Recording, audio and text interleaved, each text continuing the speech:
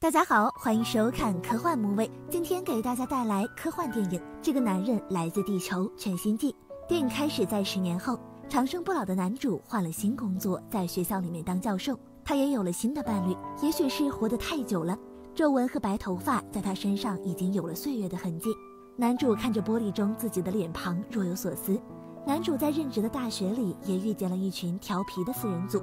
分别是崇拜教授学识的小花，想要搞师生恋的波妹小黑和小白。这天，小花到男主家里借了一些图书，正巧读到了一本来顺写的书，然后他在网上搜索了来顺的资料，了解到了来顺写的最后一本书是有关于当初在小房间里一个活了一万四千岁的学居老人聊天记录内容。书本内容对那个学居人的描述像极了给他们现在上课的教授，由此小花产生了浓厚的兴趣。他想要追求真相，一探究竟，并召集了其他小伙伴，还表示了自己的怀疑。教授就是学居人，就是那个活了一万四千年，每十年就要换一次身份的人。对于这件事，他们都好奇，充满着兴奋。于是，一群人就开始准备调查。小花联系了来顺，希望他能透露一些关于他书中那个神奇男人的资料。刚开始，来顺并没有理会他们，就当做是一般读者的疑问一样。这边小花和波妹还有小黑偷偷摸摸潜入了男主家里，想要收集一些能证明教授就是学居人的证据，但是他们好像什么也没有发现。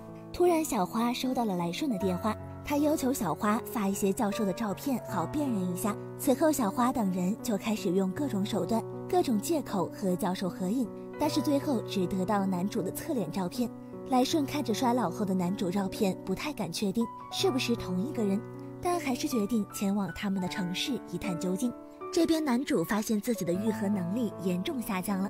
这时波妹前往他的办公室，准备脱衣诱惑勾引男主，但是男主还是抵得住美女的诱惑，拒绝了她，还被波妹拿他的秘密威逼男主，无奈没有得逞，所以男主决定离开学校，还有自己居住的地方。男主在离开时遇到了他的四个学生，不知出于什么心理，他们把男主打晕，绑架了。然后等着来顺来辨认，这边来顺的车在半路上出了意外故障了，他们决定去接来顺，留下小白照顾教授。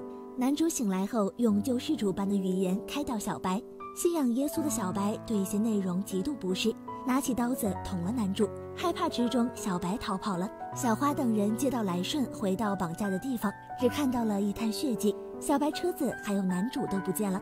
他们做出了一堆猜想。之后，男主从一个山洞里面出来，满脸胡子。男主的伤也在慢慢的愈合。曾经的伙伴给他送来了一些衣物，然后跟着伙伴走了。